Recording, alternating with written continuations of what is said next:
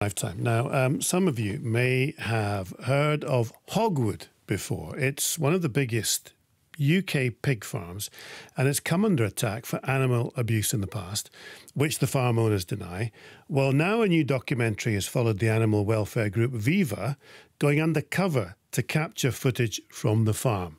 Hogwood's now streaming on a number of digital platforms, and it's been narrated by Game of Thrones actor Jerome Flynn, and I spoke to him earlier.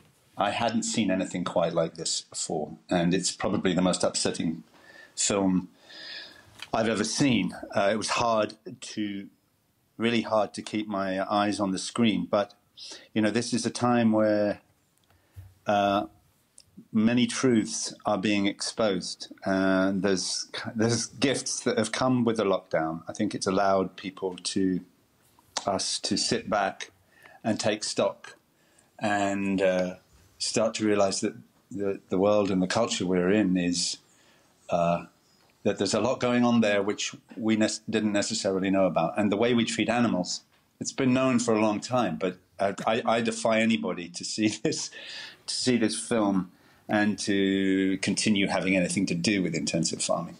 Well, you've investigated, or the film in its part is looking at this one particular farm, Hogwood, and the farmer yes. the farmer denies mistreatment and but just describe to viewers what's in the footage and is this widespread?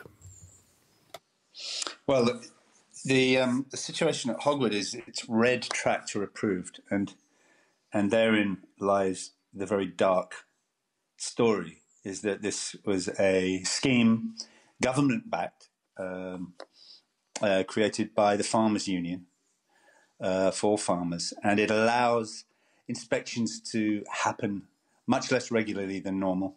So um, there's a cover there. They and they can get the, the, their vets to come and inspect, and if they don't like what the vets see and tell them, they get another vet. And this has been this is witnessed and reported. We've got a, a vet in the film who tells her own story.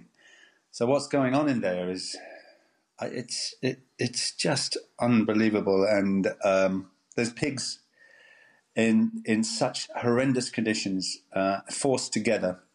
They're eating each other. I mean, there's, there's there's scenes of pigs eating each other, and they throw out the um, the diseased and the dying pigs, you know, just out into the um, corridors, the concrete corridors.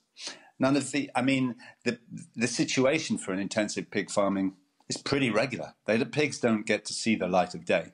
That in itself and they, they never feel earth underneath their feet.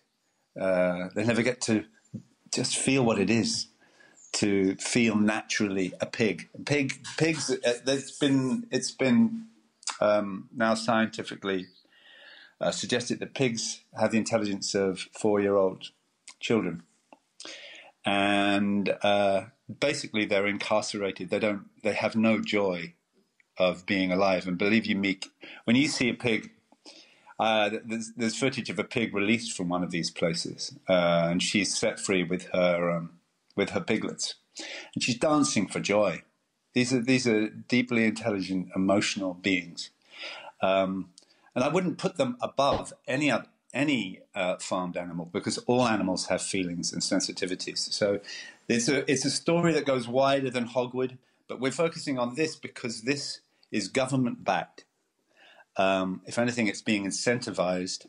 And um, it took Viva and the investigation team years and hundreds of thousands of people to protest for Tesco and for Red Tractor uh, which is supposed to be some kind of approved welfare. But what's been proved uh, is it's the opposite. It's it's just a shadow for these disgusting practices. It's been good to talk to you, but I can't let you go without asking one question about Game of Thrones, can I? You can, you can have a go. you you gained it was worldwide fame, wasn't it? From from the much loved rogue Sir Bronn of the Blackwater.